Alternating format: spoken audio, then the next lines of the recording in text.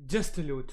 Dobro došlo u novi video. Malo prije sam izbacio, nijem se čuo mikrofon, tako što sam ga deaktivirao bio u OBS koja sam ja budala. Ali, desilo vam se nešto tako što sam i budala i nisam ni mislio i zaboravio i evi ga. Malo prije sam upalio u stream tuču KSI, uh, KSI protiv Jake Paul. I to smo gledali zajedno u streamu i 5 minuta je moglo i odjednom sam dobio prc, ugasio se stream i copyright. Pogled dobio sam e-mail i piše deaktivirano mi je live stream za 90 dana, znači 3 mjeseca ne mogu live streamovati.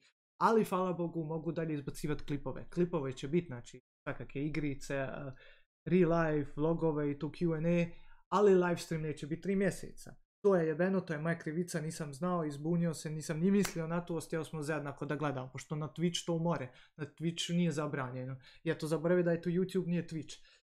Jebi ga. Ali zato, ko, uh, poslije tri mjeseca ću odmah streamovat, nastav dalje na YouTube. Znači, ljudi, sasad, što ne mogu streamovat na YouTube, preću na Twitch, link je u opis, svi me zapratite, ali klipova će biti dalje na YouTube, to mogu i ubaciš po neka 5 sekundi onaj klip kad budem live streamovao na Twitch da znate i na Instagram i Facebook ću.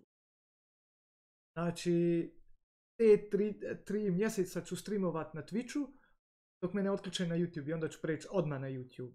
Ako me prije otključaju doću odmah na YouTube. Vidjet kad budem live. Znači ljud, moja je krivica, izvinite nisam znao, nisam mislio, zamijenio sam YouTube sa Twitchom pošto to more da se radi, ali jebi ga, odmah copyright i zaključali za tri mjeseca. Bude prije, moglo prije. Izvinite ljudi, ali jebi ga. Nisam mislio, izvinite. Jebe me kao niš, znači žao mi je, nije normalno. Dođite makar na Twitch kad budem, zaprate me ono i ja. Biće makar klipove i to svaki dan po dvoje troje. Bićete to.